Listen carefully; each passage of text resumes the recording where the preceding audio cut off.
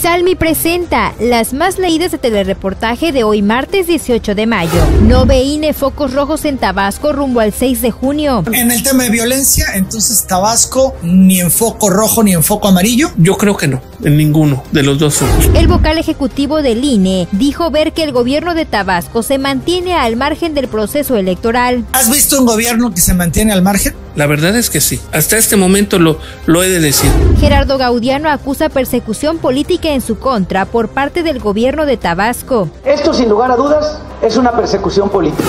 Roberto Madrazo advierte que AMLO podría tener las llaves de la reelección si en los próximos comicios Morena logra mayoría aplastante en el Congreso. Se reúne a Dan Augusto López con integrantes del Gabinete de Seguridad del Gobierno Federal para evaluar la situación de Tabasco. Mañana continúa vacunación en centro para adultos mayores de 50 a 59 años de apellidos que inicien con H, I, J y K.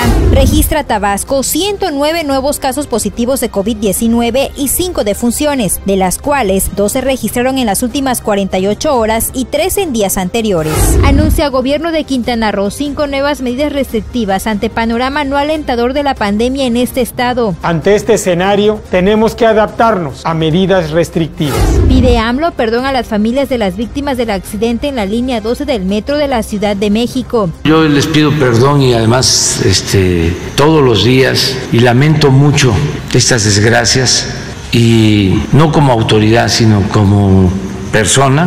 Acuerdan CEP y CENTE aumento salarial del 3.9% a trabajadores de la educación.